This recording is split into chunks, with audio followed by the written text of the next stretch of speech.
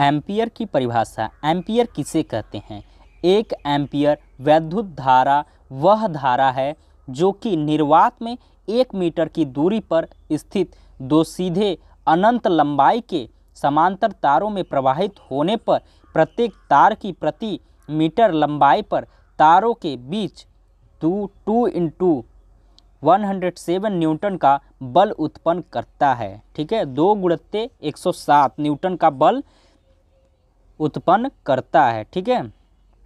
एक एम्पियर की परिभाषा आप समझ गए? एक एम्पियर वैद्युत धारा, वह धारा है जो कि निर्वात में एक मीटर की दूरी पर स्थित दो सीधे अनंत लंबाई के समांतर तारों में प्रवाहित होने पर प्रत्येक तार की प्रति मीटर लंबाई पर तारों के बीच दो गुणित दस के पावर सात, यहाँ पे लिख लीजिएगा दो गुणित दस के पावर सात न्यूटन का बल उत्पन्न होता है।